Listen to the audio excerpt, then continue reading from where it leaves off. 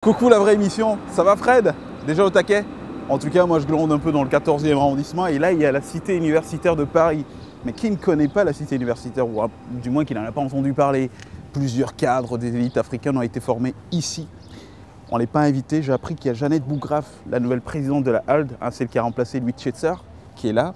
Donc on va essayer de taper l'incruste et, tout faire pour lui arracher quelques mots. Vous venez avec nous? On n'a pas de carton d'invitation, hein, mais je vais jouer sur le, coup de bluff.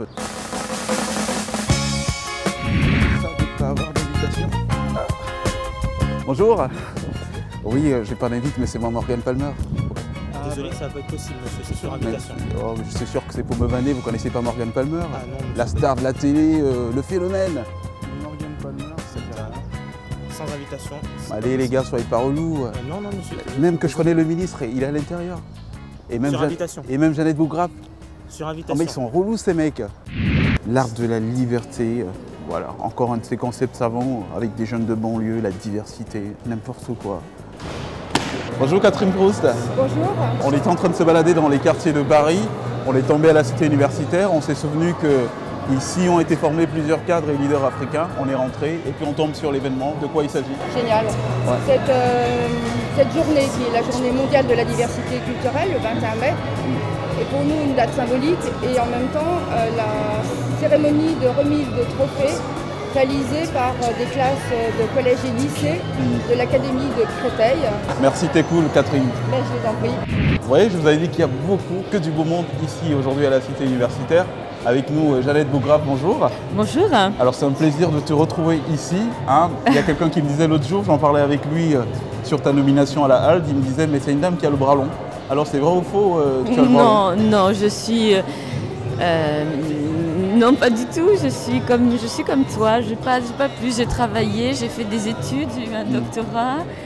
Euh, moi, je viens, mes parents viennent de l'autre côté de la Méditerranée, donc j'ai, on a été, non, non, je crois que c'est une belle chose et, je prends les choses comme elles arrivent, de manière simple et voilà, pas du tout. C'est, bizarre que les gens pensent ça. Hmm, alors, c'était pour te taquiner, pour montrer que tu n'étais pas du tout coincé. On est avec la présidente de la HALD, donc. Euh, il y a beaucoup de gens qui pensent que ça sert à rien la HALD. Ah non, ça sert pas. Je, vais vous dire, mm. on a 14 000 demandes chaque année en fait de réclamation des gens qui sont victimes de discrimination. Mm. Et je suis très touchée parce que quand je vois les dessins qu'il y a là, qui sont là, qui sont présents, mm. ils touchent au handicap. On a beaucoup de réclamations liées au handicap parce que par exemple on refuse d'embarquer une personne qui est en fauteuil roulant.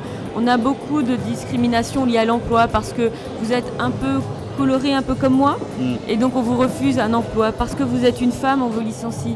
Les gens viennent vers nous parce qu'ils n'ont pas nécessairement les moyens d'avoir un avocat et de se défendre. Donc la HAD, c'est vraiment le gardien du principe d'égalité. Et moi, je vous encourage, si vous connaissez des gens autour de vous, à nous saisir. Alors, il y a beaucoup de gens qui vont te voir en direct dans l'émission, c'est la vraie émission sur Télésud. tu as le temps de regarder les télés de la diversité? J'ai plutôt pas le temps de regarder la télé, mais je sens que je vais regarder Télésud. Je voulais embrasser très fort toute l'équipe de la vraie émission et j'espère peut-être un jour être sur le plateau, qui sait? Finalement, ça paye le culot dans la vie. Hein pas d'invite, on se pointe, coup de bluff, on profite du buffet.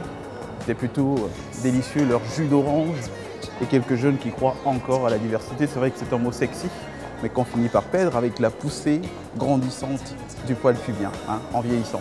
On se retrouve très bientôt, Fred.